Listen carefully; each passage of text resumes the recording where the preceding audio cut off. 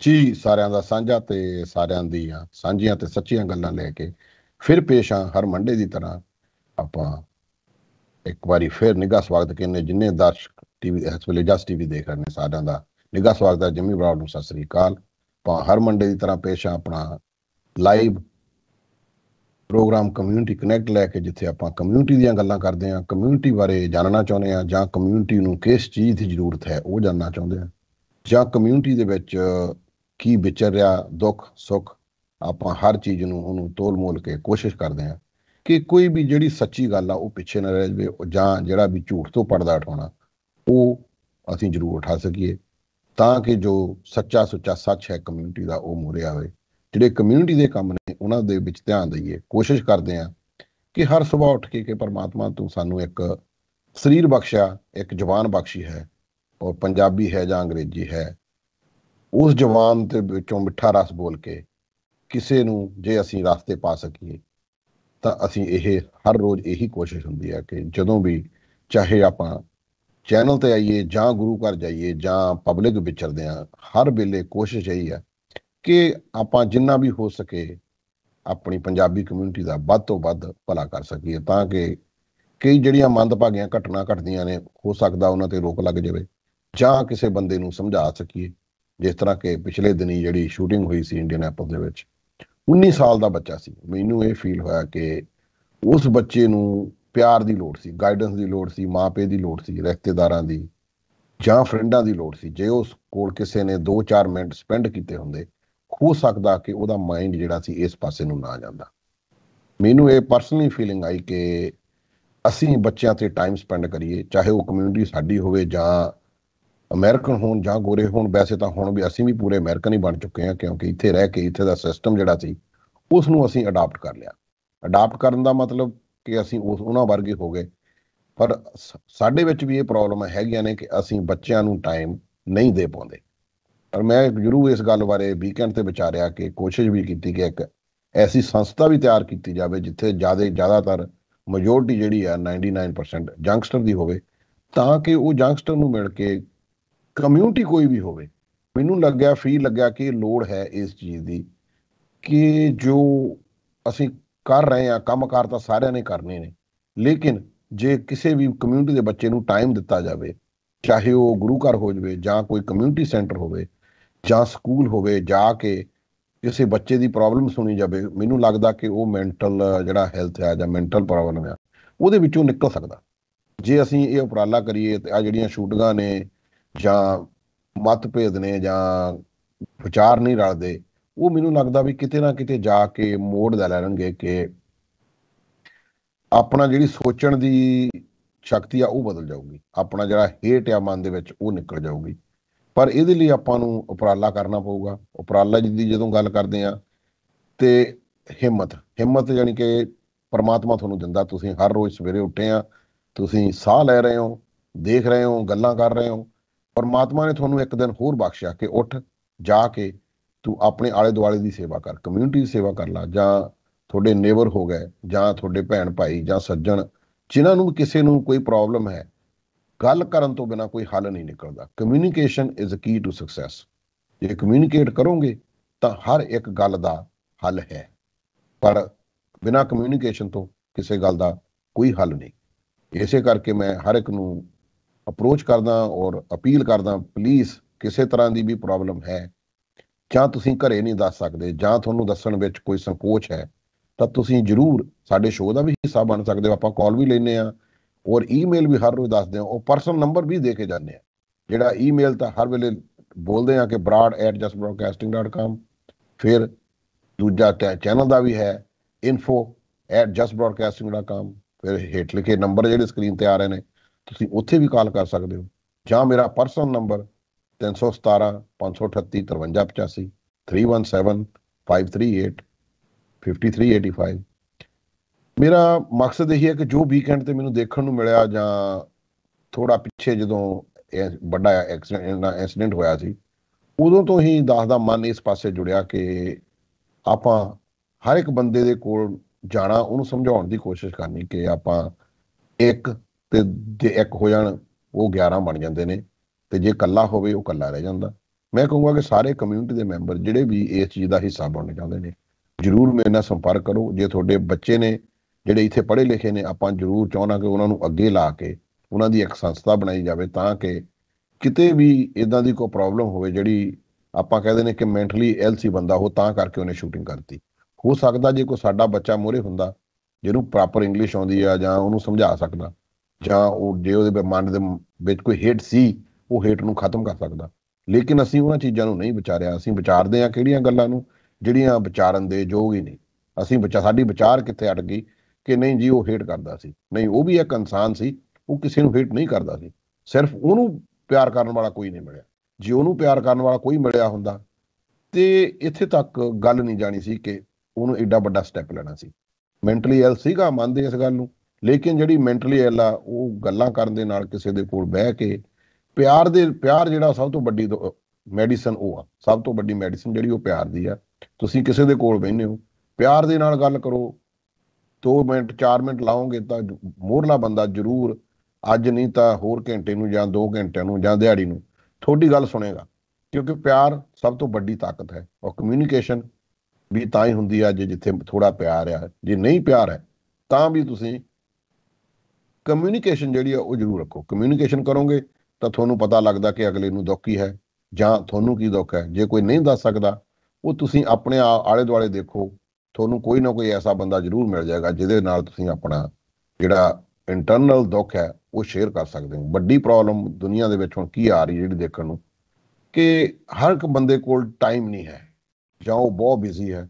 ਜੇ ਟਾਈਮ ਹੈ ਤਾਂ ਉਹ ਕਾਲੀ ਵਿੱਚ ਹੈ। ਉਹ ਆਪਣੇ ਜਿਹੜੇ ਅੰਦਰ ਦੀ ਗੱਲ ਹੈ, ਉਹ ਕਿਸੇ ਨਾਲ ਸ਼ੇਅਰ ਨਹੀਂ ਕਰ ਰਿਹਾ। ਨਾ ਸ਼ੇਅਰ ਕਰਨ ਕਰਕੇ ਉਹ ਬੰਦੇ ਨੂੰ ਪ੍ਰੋਬਲਮ ਇਹ ਆ ਰਹੀ ਆ ਕਿ ਉਹ ਕਿਸੇ ਨਾਲ ਗੱਲ ਹੀ ਨਹੀਂ ਕਰ ਰਿਹਾ। ਗੱਲ ਨਹੀਂ ਕਰਦਾ ਤੇ ਉਹਦਾ ਜੋ ਇੰਟਰਨਲ ਸਾਰਾ ਕੁਝ ਦੱਬਿਆ ਹੋਇਆ ਹੈ, ਉਹ ਅੰਦਰ ਹੀ ਹਰ ਰੋਜ਼ ਦੱਬਿਆ ਜਾ ਰਿਹਾ। ਉਹਨੂੰ ਚਾਹੀਦਾ ਕੀ ਹੈ ਕਿ ਕੋਈ ਬੰਦਾ ਗੱਲ ਕਰਨ ਨੂੰ ਹੋਵੇ। ਹੁਣ ਪੁਰਾਣੇ ਜ਼ਮਾਨੇ ਤੇ ਜੇ ਆਪਾਂ ਜਾਈਏ ਤਾਂ ਪੁਰਾਣੇ ਜਿਹੜੇ ਬਜ਼ੁਰਗ ਸੀ, ਉਹ ਪਿੰਡਾਂ ਦੇ ਵਿੱਚ, ਜਿਹਨੂੰ ਆਪਾਂ ਸੱਥ ਕਹਿੰਦੇ, ਉੱਥੇ ਬਹਿੰਦੇ ਸੀ, ਇੱਕ ਦੂਜੇ ਨਾਲ ਗੱਲਾਂ ਕਰਦੇ ਸੀ।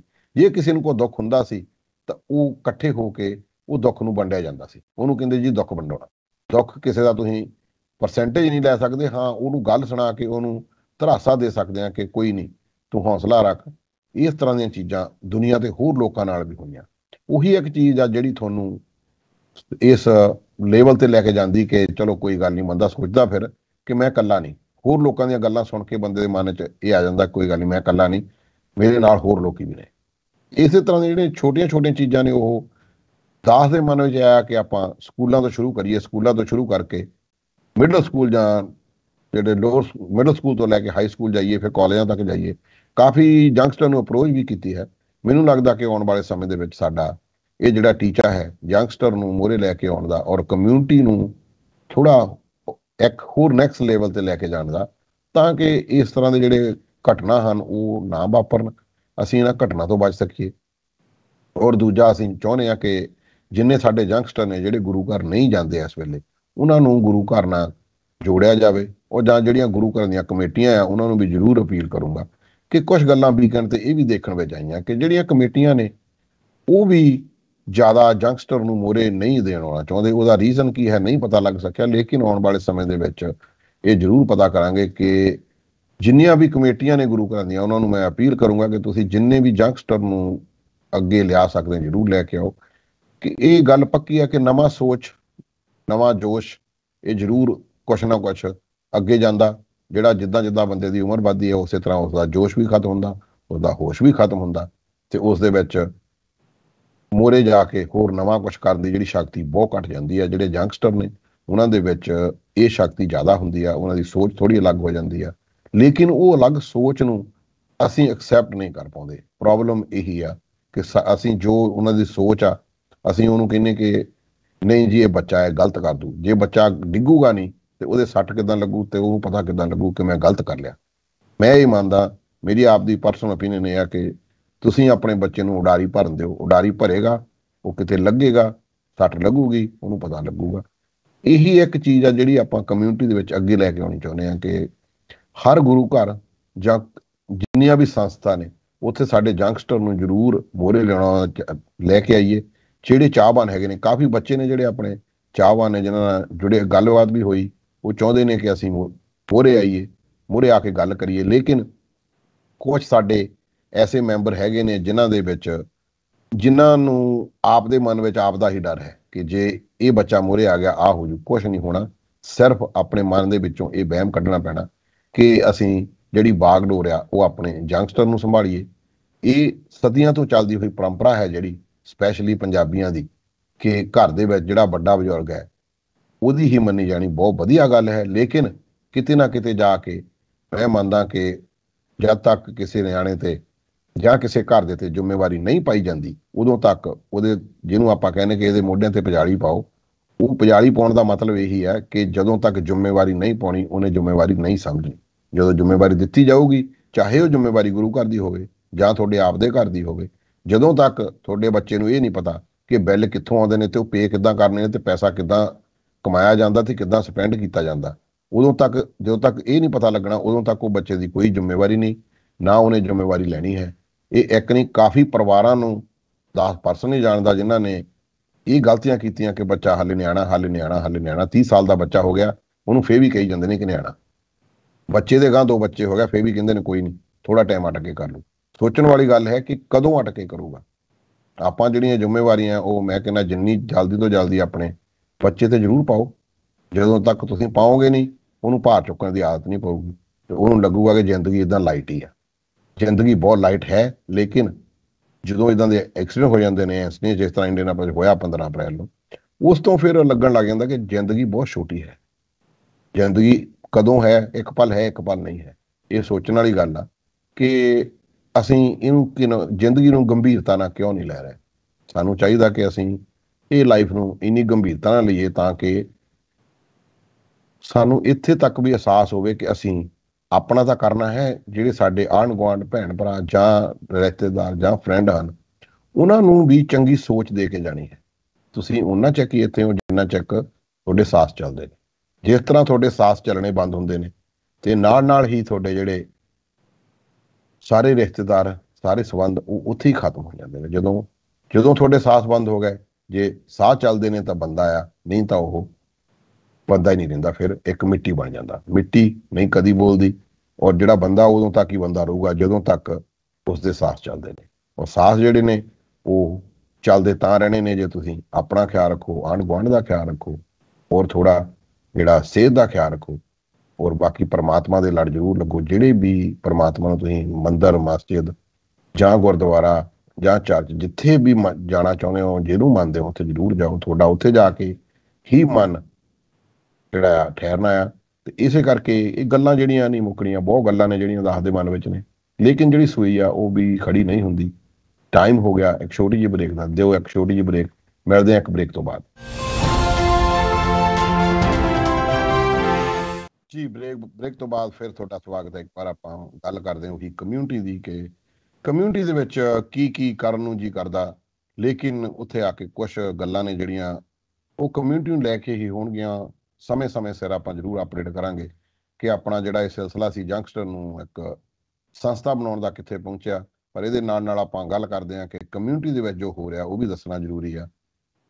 ਕੱਲ ਹੀ ਸੰਡੇ ਵਾਲੇ ਦਿਨ ਜੋ ਹਾਦਸਾ 15 ਅਪ੍ਰੈਲ ਨੂੰ ਹੋਇਆ ਸੀ, ਉਹਦੇ ਬਾਰੇ ਆਪਾਂ ਕੁਝ ਹਾਈਲਾਈਟ ਗੱਲਾਂ ਕਰਾਂਗੇ ਕਿ ਜਿਹੜਾ ਇੱਕ ਪਰਿਵਾਰ ਜੋਰ ਪਰਿਵਾਰ ਸੀ, ਉਹਨਾਂ ਨੇ ਵੀ ਆਪਣਾ ਕੀਤਾ ਤੇ ਸ਼ੇਖੋਂ ਪਰਿਵਾਰ ਨੇ ਵੀ ਕੀਤਾ, ਸੰਸਕਾਰ ਕੀਤਾ।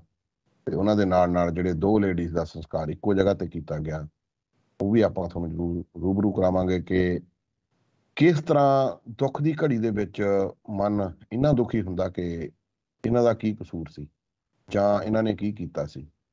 ਆਪਾਂ ਇਹੀ ਗੱਲ ਕਰਦੇ ਕਿ ਦੇਖੋ ਲੋਕਲ ਪੁਲਿਸ ਵਾਲੇ ਵੀ ਆਏ, ਜਿਨ੍ਹਾਂ ਨੇ ਉੱਥੇ ਆ ਕੇ ਆਪਣੀ ਡਿਊਟੀ ਦਿੱਤੀ। ਉਹ ਪੁਲਿਸ ਵਾਲਾ ਵੀ ਬੜਾ ਬਹੁਤ ਵਧੀਆ ਬੰਦਾ ਸੀ, ਜਿਹਨੇ ਪਰਿਵਾਰਾਂ ਨੂੰ ਦੇਖ ਕੇ ਉੱਥੇ ਖੜਾ ਹੋਇਆ।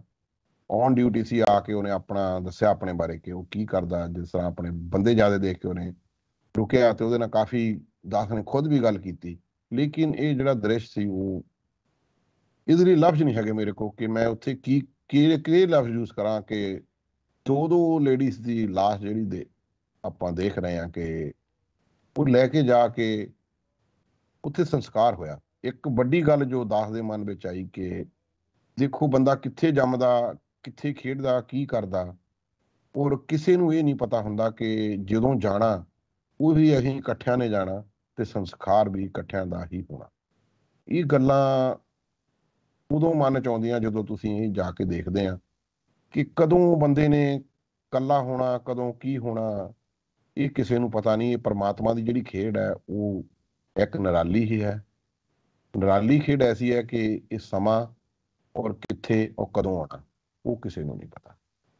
ਇਹ ਦੇਖਣ ਵਾਲੀ ਚੀਜ਼ ਹੈ ਕਿ ਜਦੋਂ ਆਪਾਂ ਇਹਨਾਂ ਚੀਜ਼ਾਂ ਨੂੰ ਦੇਖਦੇ ਆ ਕਿ ਆਪਾਂ ਅਰਦਾਸ ਵੀ ਕਰਦੇ ਆ ਕਿ ਕੱਲੇ ਆਵੇ ਨਾਨਕਾ, ਸੱਦੇ ਉੱਠੀ ਜਾਏ। ਲੇਕਿਨ ਜਿਹੜਾ ਉੱਠੀ ਜਾਣ ਦਾ ਸਮਾਂ ਆ, ਉਹ ਕਿਸੇ ਨੂੰ ਪਤਾ ਨਹੀਂ ਲੱਗਿਆ। ਗੁਰਬਾਣੀ ਵਿੱਚ ਵੀ ਇਹ ਲਿਖਿਆ ਗਿਆ ਕਿ ਇਹ ਸਮਾਂ ਕਿਸੇ ਨੂੰ ਵੀ ਨਹੀਂ ਪਤਾ ਕਿ ਕਦੋਂ ਜਾਣਾ ਤੇ ਉਹ ਕਿੱਥੇ ਆਉਣਾ ਜਾਂ ਸਮਾਂ ਕਿੰਨਾ ਹੋਣਾ ਜਾਂ ਉੱਥੇ ਤੁਹਾਡੇ ਨਾਲ ਕਿਨ ਕਿਨ ਹੋਣਾ। ਆ ਦੋ ਲੇਡੀਜ਼ ਅਮਰਜੀਤ ਕੌਰ ਸ਼ੇਖੋਂ ਤੇ ਜਸਵਿੰਦਰ ਕੌਰ ਜੀ, ਜਿਨ੍ਹਾਂ ਦਾ ਇਕੱਠਿਆਂ ਇਸ ਦੁਨੀਆ ਤੋਂ ਉੱਠ ਜਾਣਾ, ਉਹ ਇਕੱਠਿਆਂ ਦਾ ਸੰਸਕਾਰ ਹੋਣਾ ਹੈ। ਬਹੁਤ ਦੁਖਦਾਇਕ ਹੈ, ਲੇਕਿਨ ਇਹ ਜਿਹੜਾ ਸਮਾਂ ਹੈ, ਉਹ ਸਾਡੀ ਗੁਰਬਾਣੀ ਸਾਨੂੰ ਵਾਰ-ਵਾਰ ਇਹ ਸਿਖਾਉਂਦੀ ਹੈ ਕਿ ਇਹ ਸਮਾਂ ਅੱਗੇ ਪਿੱਛੇ ਨਹੀਂ ਹੋ ਸਕਦਾ ਔਰ ਇਹ ਸਮਾਂ ਕੋਈ ਨਗਾ ਨਹੀਂ ਸਕਦਾ ਔਰ ਸਮਾਂ ਚੇਂਜ ਨਹੀਂ ਕੀਤਾ ਜਾ ਸਕਦਾ। ਔਰ ਇਸ ਸਮੇਂ ਦੇ ਵਿੱਚ ਜਿਹੜੇ ਜਿਹੜੇ ਸੱਜਣਾ ਨੇ ਇੱਥੇ ਹਾਜ਼ਰ ਹੋਣਾ ਉਹੀ ਹੋ ਸਕਦੇ ਨੇ। ਸਮਾਂ ਐਸਾ ਬੇਅੰਤ ਹੈ ਕਿ ਉਹ ਕਿਸੇ ਦੇ ਵੀ ਇੰਤਜ਼ਾਰ ਨਹੀਂ ਕਰਦਾ। ਸਮਾਂ ਜਲਦੀ ਦੇ ਨਾਲ ਨਿਕਲ ਜਾਂਦਾ।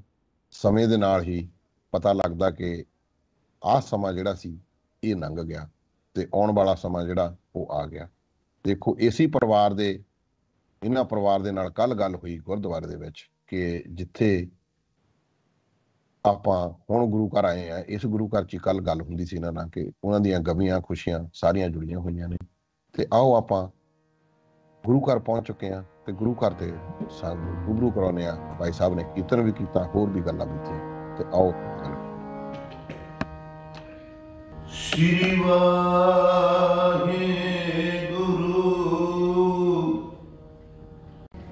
ਜੈਸੇ ਜਲ ਤੇ ਬੁੱਧ ਬੁੱਧਾ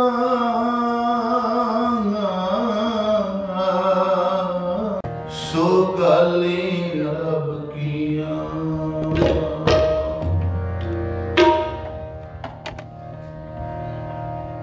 Baba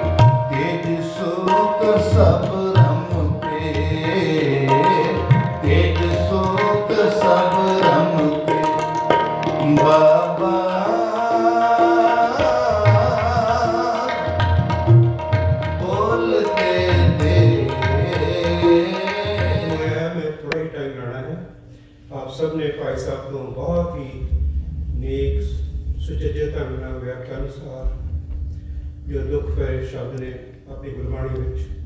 ਉਹਨਾਂ ਨੂੰ ਸਰਵਣ ਕੀਤਾ ਹੈ, ਵਿਆਖਿਆ ਵੀ ਕੀਤੀ ਹੈ। ਆਪਾਂ ਉਸ ਤੇ ਅਮਲ ਕਰਨਾ ਹੈ। ਦਾਸ ਨੂੰ ਇੱਕ ਮਿੰਟ ਮਿਲਿਆ ਹੈ। ਜਿੰਨੀ ਵੀ ਦੋ ਨੇੜੇ ਦੂਰੋਂ ਚੱਲ ਕੇ ਸੰਗਤਾਂ ਆਈਆਂ ਨੇ। ਸਤਨਾਮ ਜੀ, ਵਾਹਿਗੁਰੂ ਵਾਹਿਗੁਰੂ ਵਾਹਿਗੁਰੂ।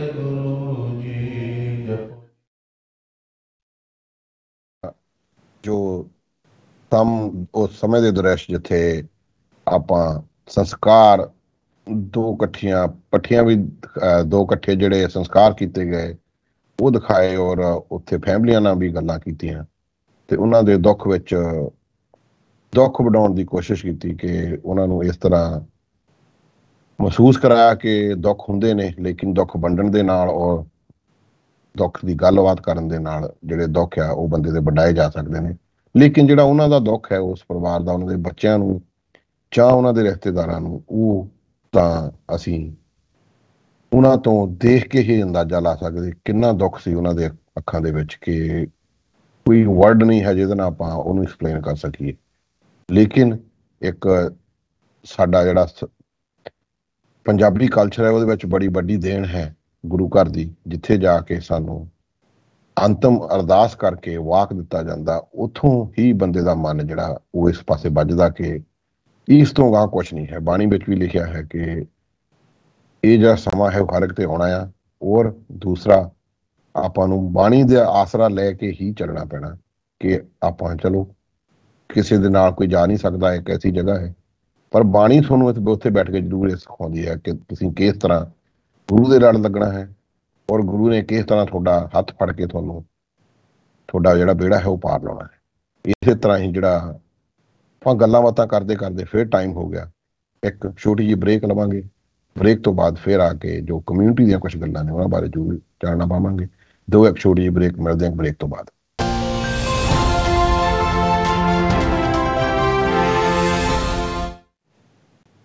ਜੀ ਬ੍ਰੇਕ ਤੋਂ ਬਾਅਦ ਫਿਰ ਤੁਹਾਡਾ ਨਿੱਘਾ ਸਵਾਗਤ ਹੈ।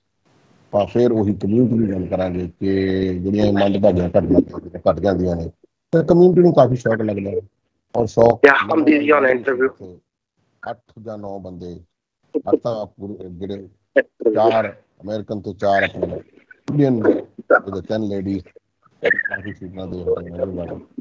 ਤੇ ਉਹਨਾਂ ਦੇ ਬਾਰ-ਬਾਰ ਸੰਸਕਾਰ ਦੇਖਣ ਤੇ ਜਿਨ੍ਹਾਂ ਦਾ ਜਨ ਸੰਸਕਾਰ ਆਪ ਪਿਛੇ ਸੈਟਰਡੇ ਸੰਡੇ ਹੋਏ ਜਿਹੜੇ ਉਹ ਖਾਲੇ ਜਿਹੜਾ ਸੰਸਕਾਰ ਹੈ ਉਹ ਹੋਣ ਜਾ ਰਿਹਾ ਹੈ। ਤਾਂ ਉਹਨਾਂ ਦੇ ਉਹਨਾਂ ਦੇ ਰਿਸ਼ਤੇਦਾਰ ਨੇ ਜਿਨ੍ਹਾਂ ਨਾਲ ਗੱਲਬਾਤ ਕਰਾਂਗੇ ਉਹ ਜ਼ਰੂਰ ਦੱਸਣਗੇ ਤੇ ਉਹਨਾਂ ਨੂੰ ਕਾਲ ਤੇ ਲੈ ਕੇ ਆਉਣੇ ਆ। ਹਾਂਜੀ ਹਰਜਾਪ ਸਿੰਘ ਜੀ ਤੁਸੀਂ ਔਨ 에ਅਰ ਹੋ ਜੀ? ਤੁਹਾਡਾ ਨਿੱਘਾ ਸਵਾਗਤ ਹੈ ਜਸਪੀਰ ਜਸਪੀਰ ਜੀ।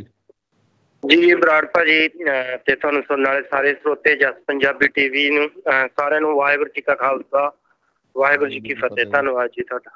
ਜੀ ਅਹ ਹਰਜਾਪ ਸਿੰਘ ਜੀ ਮੈਂ ਤੁਹਾਨੂੰ ਤੁਸੀਂ ਵੀ ਵੀਕਐਂਡ ਤੇ ਸ਼ਾਇਦ ਫਿਲਮ ਤੇ ਗਏ ਸੀ ਜਿਹੜਾ ਆਪਣਾ ਦੋ ਸੰਸਕਾਰ ਇਕੱਠੇ ਕੀਤੇ ਗਏ ਤੇ ਤੁਹਾਡੇ ਜਿਹੜੇ ਜਸਵਿੰਦਰ ਸਿੰਘ ਜੀ ਜੀ ਉਹਨਾਂ ਬਾਰੇ ਪਹਿਲਾਂ ਤਾਂ ਆਪਣੇ ਬਾਰੇ ਜਾਣਨਾ ਦਿਓ ਕਿ ਤੁਸੀਂ ਪੰਜਾਬ ਤੋਂ ਕਿੱਥੋਂ ਬਿਲੋਂਗ ਕਰਦੇ ਹੋ ਫਿਰ ਜਸਵਿੰਦਰ ਸਿੰਘ ਜੀ ਜਿਨ੍ਹਾਂ ਦੀ ਡੈਥ ਹੋਈ ਉਹ ਤੁਹਾਡੇ ਕੀ ਲੱਗਦੇ ਸੀ? ਜੀ ਜੀ ਭਾਜੀ ਭਾਜੀ ਮੈਂ ਮੇਰਾ ਨਾਮ ਹਰਜਾਪ ਸਿੰਘ ਆ ਤੇ ਮੇਰਾ ਜ਼ਿਲ੍ਹਾ ਪੈਂਦਾ ਨਵਾਂ ਸ਼ਹਿਰ ਤੇ ਪਿੰਡ ਸਾਡਾ ਚੱਕਰਾਮੂ ਆ ਜੀ ਨਵਾਂ ਸ਼ਹਿਰ ਜ਼ਿਲ੍ਹੇ ਦੇ ਵਿੱਚ ਤੇ ਦਾਸ ਇੱਥੇ ਯੂ ਐਸ ਏ ਤੋਂ ਆਲਮੋਸਟ 16 ਈਅਰ ਤੋਂ ਹੈਗਾ। ਤੇ ਜਸਵਿੰਦਰ ਸਿੰਘ ਮੇਰੀ ਕਜ਼ਨ ਸਿਸਟਰ ਆ। ਅਸੀਂ ਸਾਰਾ ਪਰਿਵਾਰ ਇੱਥੇ ਇਕੱਠੇ ਰਹਿੰਦੇ ਆ ਇੰਡੀਅਨੈਪਲਸ ਦੇ ਵਿੱਚ very close on one street ਤੇ ਜਸਵਿੰਦਰ ਸਿੰਘ ਉਹਨਾਂ ਦੇ ਸਹੁਰਾ ਸਾਹਿਬ ਸੀ। ਸੋ ਸਾਡੇ ਕਾਫੀ ਬਹੁਤ ਜ਼ਿਆਦਾ ਹੀ ਸਾਡਾ ਉਹਨਾਂ ਨਾਲ ਪਿਆਰ ਸਾਰਿਆਂ ਦਾ। ਕਿਉਂ ਉਹ ਰੱਬ ਦਾ ਬੰਦਾ, ਹਮੇਸ਼ਾ ਹੀ ਉਹ ਹਾਸੇ ਬਟੇਰ ਨਾਲ ਸ਼ਖਸੀਅਤ ਸੀ ਜੀ ਉਹ। ਆਲਵੇਜ਼ ਵਾਕ ਕਰਨੀ ਤੁਰਨਾ ਸੈਰ ਕਰਨੀ ਸਟਰੀਟਸ ਦੇ ਉੱਤੇ ਉਹਨਾਂ ਦਾ ਸ਼ੌਕ ਸੀ ਜੀ। ਤੇ ਉਹਨਾਂ ਨੂੰ ਹਰ ਕੋਈ ਜਿਹੜਾ ਵੀ ਮਿਲਦਾ ਸੀ ਮੇਰੇ ਖਿਆਲ ਦੇ ਵਿੱਚ ਵੈਰੀ ਬਿਗ ਸਮਾਈਲ ਦੇ ਨਾਲ ਮਿਲਦਾ ਸੀ। ਤੇ ਉਹਨਾਂ ਦਾ ਸੁਭਾਅ ਸੀ ਨੇਚਰ ਸੀ ਬੱਚਿਆਂ ਦੇ ਨਾਲ ਘੁਲ ਮਿਲ ਜਾਣਾ। ਜਿਹੋ ਜਿਹਾ ਤੁਸੀਂ ਬੈਠੇ ਹੋ ਉਹੋ ਜਿਹਾ ਉਹਨਾਂ ਨੇ ਹੋ ਜਾਣਾ। ਤੇ ਘਰ ਵਿੱਚ ਹੀ ਰਹਿੰਦੇ ਸੀ ਕੰਮ ਨਹੀਂ ਸੀ ਕਰਦੇ। ਤੇ ਆਲਵੇਜ਼ ਸ਼ਾਮ ਨੂੰ ਤੁਰ ਕੇ ਸਾਡੇ ਘਰਾਂ ਵੱਲ ਨੂੰ ਆ ਜਾਣਾ ਗੇੜੀ ਮਾਰਨੀ ਬੜੀ ਤੇਜ਼ ਤੁਰਨਾ। ਤੇ ਆਮ ਬੰਦਿਆਂ ਨਾਲੋਂ ਕਾਫੀ ਤੇਜ਼ ਤੁਰਦੇ ਸੀ ਉਹਨਾਂ ਦਾ ਸੁਭਾਅ ਸੀ ਇਹੋ ਜਿਹਾ। ਤੇ ਲੰਘਦਿਆਂ ਵੜਦਿਆਂ ਨੇ ਉਹਨੇ ਘਰ ਵਿੱਚ ਹੋ ਕੇ ਜਾਣਾ ਹਾਕਾਂ ਮਾਰਨੀਆਂ। ਬੱਚਿਆਂ ਨੂੰ ਦੇਖਣਾ ਬੱਚਿਆਂ ਨੂੰ ਹਾਕਾਂ ਮਾਰਨੀਆਂ। ਤੇ ਉਹਨਾਂ ਦੇ ਆਪ ਦੇ ਦੋ ਪੋਤੇ ਸਾਡੇ ਭਾਂਜੇ ਉਹਨਾਂ ਦੇ ਨਾਲ ਹੀ ਜ਼ਿਆਦਾ ਟਾਈਮ ਬਿਤਾਉਂਦੇ ਸੀ। ਤੇ ਹੁਣ ਜਿਵੇਂ ਕਹਿ ਲਓ ਵੀ ਹੋਣੀ ਹੁੰਦੀ ਆ ਹੋਣੀ ਘੇਰ ਕੇ ਲਿਆਉਂਦੀ ਆ ਕੰਮ ਨਹੀਂ ਸੀ ਪਹਿਲਾਂ ਕਰਦੇ। ਤੇ ਫੈਮਿਲੀ ਨੂੰ ਜ਼ਰੂਰਤ ਨਹੀਂ ਸੀ ਸਮਝੀ ਵੀ ਕੰਮ ਦੀ ਲੋੜ ਆ ਪਰ ਜਿੱਦ ਕਰਦੇ ਸੀ ਵੀ ਮੈਂ ਕੰਮ ਤੇ ਜਾਣਾ। ਤੇ ਬਸ ਅਜੇ ਤਿੰਨ ਦਿਨ ਹੀ ਕੰਮ ਤੇ ਗਏ ਸੀਗੇ। ਤੇ ਦੋ ਦਿਨ ਛੁੱਟੀ ਆ ਗਈ ਉਸ ਤੋਂ ਬਾਅਦ ਜਿਹੜਾ ਵੀਕਲੀ ਚੈੱਕ ਮਿਲਦਾ। ਉਹਦੇ ਲਈ ਲਾਈਨ ਦੇ ਵਿੱਚ ਲੱਗੇ ਹੋਏ ਸੀ ਜੀ। ਤੇ ਜਦੋਂ ਇਹ ਭਾਣਾ ਵਰਤ ਗਿਆ ਹੋਣੀ ਖਿੱਚ ਲਿਆਈ। ਹਾਂਜੀ। ਜੀ। ਜੀ ਇਹ ਇਹ ਕਿਸਮਤ ਹੈ ਜੀ ਜਿਹੜਾ ਜਿਹਨੂੰ ਕੋਈ ਪ੍ਰੋਡਕਟ ਨਹੀਂ ਕਰ ਸਕਦਾ ਤੁਸੀਂ ਸ਼ਾਇਦ ਹੂੰ। ਤੁਸੀਂ ਗੁਰੂ ਨਾਲ. ਜੁੜੇ ਹੋਏ ਹੋ ਗੁਰੂ ਦੇ ਸਿੰਘ ਹੋ ਤੁਹਾਨੂੰ ਪਤਾ ਬਾਣੀ ਬਾਰ-ਬਾਰ ਇਹੀ ਸਮਝਾਉਂਦੀ ਆ ਕਿ ਜਿਹੜਾ ਆਉਣ ਦਾ ਤਾਂ ਹਾਲੇ ਕੋਈ ਪ੍ਰੈਡਿਕਸ਼ਨ ਹੋ ਸਕਦੀ ਹੈ ਜਾਣ ਦੀ ਕੋਈ ਪ੍ਰੈਡਿਕਸ਼ਨ ਨਹੀਂ ਹੋ ਸਕਦੀ। ਕੋਈ ਨਹੀਂ ਹੈ ਜੀ ਬਿਲਕੁਲ। ਗੁਰੂ ਦਾ ਭਾਣਾ ਹੈ ਜੀ ਜਿਹ- ਜਿਹੋ ਹੈ। ਤੇ ਪਰ ਦੇਖੋ ਇਹ ਬਿਲਕੁਲ ਸਾਰਿਆਂ ਦੇ ਸੋਚਣ ਵਾਲੀ ਗੱਲ ਹੈ ਵਿਦ ਕਿਵੇਂ ਬਣਦੀ ਆ। ਸੋ ਤਾਂ ਇਹੀ ਗੱਲ ਇਹਦੇ ਚੋਂ ਸੋਚਦੇ ਆ ਹਰ ਇੱਕ ਨੂੰ ਪਿਆਰ ਵੰਡੀਏ ਹਰ ਇੱਕ ਦੇ ਨਾਲ ਪਿਆਰ ਖੁਸ਼ੀਆਂ ਪਹਿਲਾਂ ਬੰਦਾ ਜਿਉਂਦਾ ਉਦੋਂ ਅਸੀਂ ਉਹ ਚ ਨੁਕਸ ਕੱਢਦੇ ਆ ਉਸ ਨੂੰ ਕੁਝ ਕਰਦੇ ਆ ਪਰ ਜਦੋਂ ਬੰਦਾ ਸਾਡੇ ਤੋਂ ਚਲੇ ਜਾਂਦਾ ਤਾਂ ਉਸਦੀਆਂ ਚੰਗਿਆਈਆਂ ਤੋਂ ਇਲਾਵਾ ਹੋਰ ਕੁਝ ਵੀ ਨਹੀਂ ਦਿਸਦਾ। ਸਭ ਚੀਜ਼ਾਂ ਲੁਕ ਜਾਂਦੀਆਂ ਫਿਰ ਅਸੀਂ ਉਹਨੂੰ ਬਸ ਸਲਾਹੁੰਦੇ ਆ ਬੈਠੇ ਉਹਨੂੰ ਯਾਦ ਕਰਦੇ ਆ ਉਹਦੀ ਸ਼ਖਸੀਅਤ ਦੇ ਉੱਤੇ ਅਸੀਂ ਲੋਕਾਂ ਦੇ ਨਾਲ ਉਦਾਹਰਨਾਂ ਦਿੰਦੇ ਆ ਵੀ ਉਹ ਇਹੋ ਜਿਹਾ ਸੀ ਸੋ ਤੇ ਉਹਨਾਂ ਸਾਰੇ ਜਿਹੜੇ ਆ ਉਹ ਅਸੀਂ ਇਹੋ ਜਿਹਾ ਸਿਸਟਮ ਬਣਾਈਏ ਵੀ ਅਸੀਂ ਇੱਕ ਦੂਜੇ ਨੂੰ ਜਦੋਂ ਵੀ ਮਿਲੀਏ ਉਹ ਸਾਡੇ ਮਾਸਟਰ ਜੀ ਹੀ ਕਹੀਦਾ ਅਸੀਂ ਆਪਣੀ ਜਿਹੜਾ ਸਾਡੀ ਬੇਟੀ ਦਾ ਜਾਂ ਸਾਡੀ ਦੂਜੀ ਸੌਰੀ ਸਿਸਟਰ ਦਾ ਜਿਹੜਾ ਸਹੁਰਾ ਸਾਹਿਬ ਹੁੰਦੇ ਆ ਸੋ ਉਹਨਾਂ ਦੀ ਸ਼ਖਸੀਅਤ ਵਰਗਾ ਇਹੀ ਬਣੀਏ ਵੀ ਹਰ ਇੱਕ ਨੂੰ ਵੱਡੀ ਸਮਾਈਲ ਦੇ ਨਾਲ ਬੜੀ ਕਿਹਦੇ ਮੱਥੇ ਮਿਲੀਏ ਹਰ ਇੱਕ ਨੂੰ। ਜੀ ਜੀ ਉਹ ਜਿੰਨਾ ਮੇਰਾ ਇਹ ਮੰਨਣਾ ਜੀ ਜੇ ਪਿਆਰ ਜਿਹੜਾ ਹੈ ਉਹ ਸਭ ਤੋਂ ਵੱਡੀ ਦਵਾਈ ਆ ਹਰ ਇੱਕ ਚੀਜ਼ ਜਿਹੜੀ ਆ ਪਿਆਰ ਦੇ ਨਾਲ ਠੀਕ। ਕੀਤੀ ਜਾ ਸਕਦੀ ਹੈ। ਜੀ ਜੀ ਜੀ ਬਿਲਕੁਲ ਭਾਜੀ। ਤੇ ਪਿਆਰ ਤੁਸੀਂ ਪਿਆਰ ਇੱਕ ਜਾਨਵਰ ਰੱਖਿਆ ਉਹਨੂੰ ਪਿਆਰ ਕਰਦੇ ਆ। ਉਹ ਵੀ ਸ਼ਾਮ ਨੂੰ। ਤੁਹਾਡੀ ਵੇਟ ਕਰਦਾ ਕਿ ਕਦੋਂ ਤੁਸੀਂ ਘਰੇ ਆਓ। ਜੀ ਜੀ ਦੂਸਰਾ ਮੈਂ ਇਹ ਜ਼ਰੂਰ ਪੁੱਛਣਾ ਚਾਹਾਂਗਾ ਜੀ ਉਹਨਾਂ ਦਾ ਜਿਹੜਾ ਫਿਊਨਰ ਆ ਉਹਦੇ ਬਾਰੇ ਜ਼ਰੂਰ ਥੋੜਾ ਦੱਸ ਦਿਓ ਫਿਊਨਰ ਉਹਨਾਂ ਦਾ ਉਹਨਾਂ ਦਾ ਫਿਊਨਲ ਜਿਹੜਾ ਜੀ ਫਸਟ ਨੂੰ ਹੈਗਾ ਫਸਟ ਆਫ ਮਈ ਨੂੰ। ਤੇ ਉਹਦੇ ਮੈਂ ਪਲੇਸ ਤੁਹਾਨੂੰ ਮੇਰੇ ਹੁਣ ਰਿਮੈਂਬਰ ਨਹੀਂ ਹੈਗਾ। ਤੇ ਹੈਗਾ ਆ ਸਵੇਰ ਨੂੰ 1 ਵਜੇ ਤੋਂ ਪਹਿਲਾਂ ਪਹਿਲਾਂ ਫਿਊਨਲ ਜਿਹੜਾ ਹੋ ਜਾਊਗਾ ਪਹਿਲਾਂ ਵੇਟ ਕਰਦੇ ਸੀ।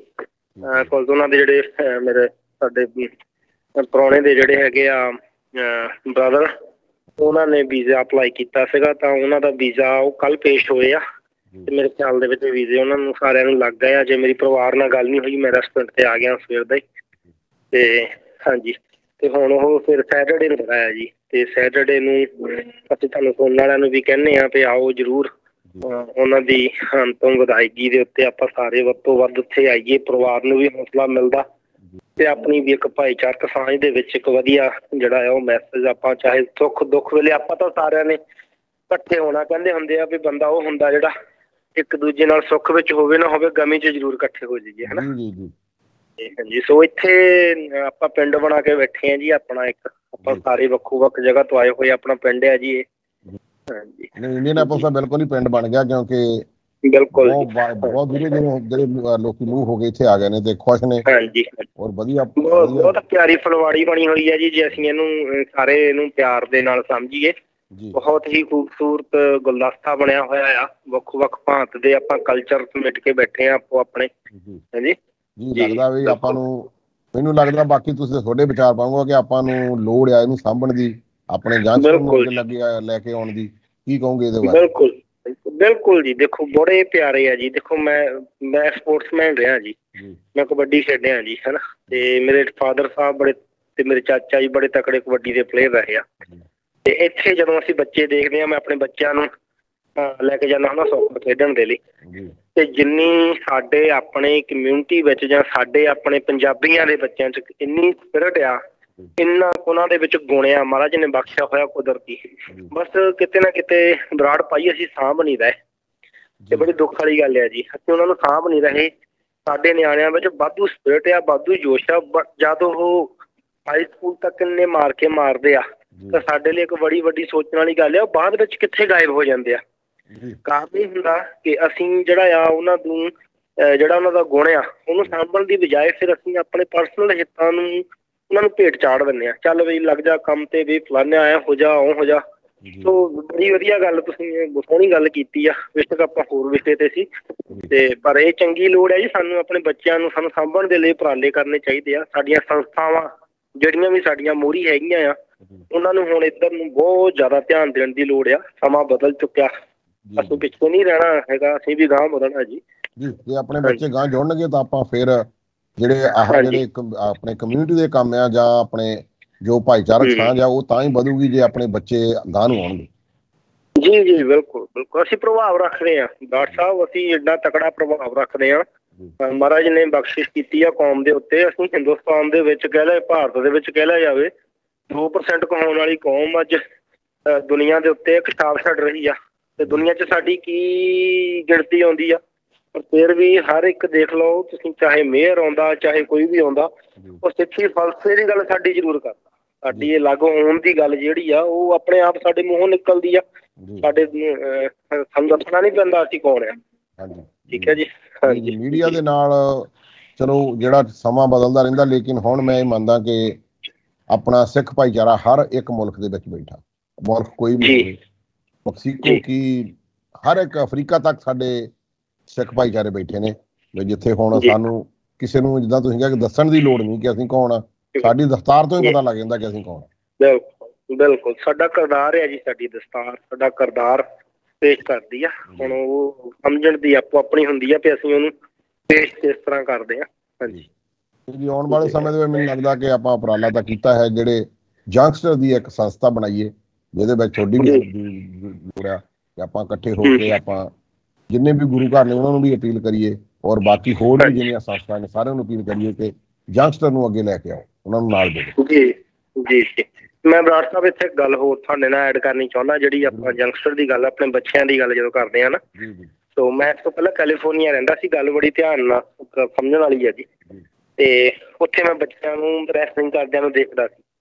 ਸੋ ਸਾਡੇ ਸੁਣਨ ਵਾਲੇ ਸਰੋਤੇ ਜਿਹੜੇ ਆ ਇਹ ਗੱਲ ਨੂੰ ਜ਼ਰੂਰ ਨੋਟ ਕਰਨ ਜੀ। ਅਸੀਂ ਬੱਚਿਆਂ ਨੂੰ ਰੈਸਲਿੰਗ ਕਰਦਿਆਂ ਨੂੰ ਦੇਖਦੇ ਸੀ ਤਾਂ ਜਿਹੜੇ ਸਾਡੇ ਬੱਚੇ ਸੀ ਨਾ ਉਹ ਉਹ ਤਾਂ ਬੜੇ ਟੈਕਨੀਕਲੀ ਬੜੇ ਸਟਰੋਂਗ ਵੀ ਪਰ ਉਹ ਕਿਤੇ ਨਾ ਕਿਤੇ ਗੋਰਿਆਂ ਦੇ ਬੱਚਿਆਂ ਤੋਂ ਪਿੱਛੇ ਰਹਿ ਜਾਂਦੇ ਸੀ। ਗਾਹ ਨਹੀਂ ਸੀ ਵੱਧ ਪਾਉਂਦੇ। ਸਕੂਲਾਂ ਵਿੱਚ ਜਾ ਕੇ ਉਹ ਕਿਤੇ ਦੀਦੇ ਹੀ ਨਹੀਂ ਸੀ ਕਿੱਥੇ ਗਏ। ਉਹਦਾ ਅਸੀਂ ਰੀਜ਼ਨ ਲੱਭਣ ਦੀ ਕੋਸ਼ਿਸ਼ ਕੀਤੀ ਵੀ ਸਾਡੇ ਬੱਚੇ ਕਿਉਂ ਨਹੀਂ ਇਹਨਾਂ ਦੇ ਲੈਵਲ ਤੱਕ ਪਹੁੰਚਦੇ। ਰੈਸਲਿੰਗ ਹੋ ਗਈ ਜਾਂ ਹੋਰ ਗੇਮਾਂ ਹੋ ਗਈਆਂ। ਉਹਦਾ ਕਾਰਨ ਇਹ ਸੀ ਕਿ ਅਸੀਂ ਆਪਣੇ ਆ ਵਿੱਚ ਅਸੀਂ ਕੰਪੀਟੀਸ਼ਨ ਨਹੀਂ ਪੈਦਾ ਕਰ ਰਹੇ। ਜੀ। ਸਾਡੇ ਬੱਚੇ ਮੈਂਟੈਲਿਟੀ ਤੌਰ ਤੇ ਉਹਨਾਂ ਨੂੰ ਡਾਊਨ ਹੋ ਜਾਂਦੇ ਆ। ਅਸੀਂ ਸਾਡਾ ਸਵਾਈ ਐ ਬਣ ਚੁੱਕਿਆ। ਜਦੋਂ ਤੱਕ ਅਸੀਂ ਆਪਣੇ ਲੈਵਲ ਤੇ ਆਪਣੀ ਕਮਿਊਨਿਟੀ ਵਿੱਚ ਆਪਣੇ ਬੱਚਿਆਂ ਲਈ ਕੰਪੀਟੀਸ਼ਨ ਨਹੀਂ ਪੈਦਾ ਕਰਦੇ ਅਸੀਂ ਇਹਨਾਂ ਨੂੰ ਸਟਰੋਂਗ ਨਹੀਂ ਕਰਦੇ ਜੇ ਅਸੀਂ ਆਪਣੇ ਇੱਥੇ ਰੈਸਲਿੰਗ ਕਲੱਬ ਖੋਲੀਏ ਅਸੀਂ ਆਪਣੇ ਸੌਕਰ ਕਲੱਬ ਬਣਾਈਏ ਆਪਣੇ ਬੱਚਿਆਂ ਨੂੰ ਉੱਥੇ ਅਸੀਂ ਤਕੜੇ ਕਰੀਏ ਤਾਂ ਅਸੀਂ ਇਹਨਾਂ ਨੂੰ ਅਸੀਂ ਇਹਨਾਂ ਤੋਂ ਕਿਤੇ ਗਾਂ ਆ। ਜੀ ਜੀ ਜੀ। ਸਾਡਾ ਜਦੋਂ ਅਸੀਂ ਜਦੋਂ ਇਹ ਆਪਸ ਵਿੱਚ ਘੁਲਣਗੇ ਆਪਸ ਵਿੱਚ ਰੈਸਲਿੰਗ ਕਰਨਗੇ ਉਹਨਾਂ ਨੂੰ ਜਾ ਕੇ ਕੰਪੀਟੀਸ਼ਨ ਦੇਣਗੇ। ਜੀ। ਜੀ ਸੋ ਇਧਰ ਨੂੰ ਮੇਰੇ ਖਿਆਲ ਦੇ ਵਿੱਚ ਕਮਿਊਨਿਟੀ ਨੂੰ ਬਹੁਤ ਹੁਣ ਲੋੜ ਹੈਗੀ ਆ।